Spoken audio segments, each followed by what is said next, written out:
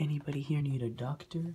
Cause I got a first aid kit if you're hurt or anything. So just, you know, call me if you're hurt, cause I got a I got a first aid kit. So yeah,